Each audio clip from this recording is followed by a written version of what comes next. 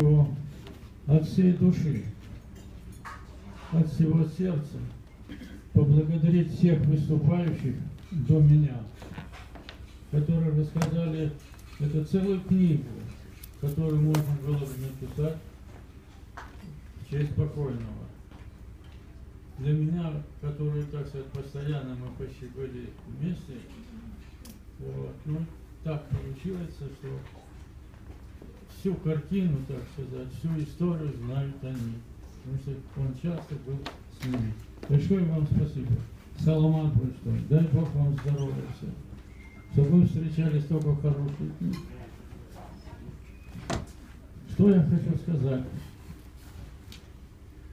Вообще, Ахмад Кунаедик, он был такой человек, который, если что-то он хотел сделать, он этого добивался.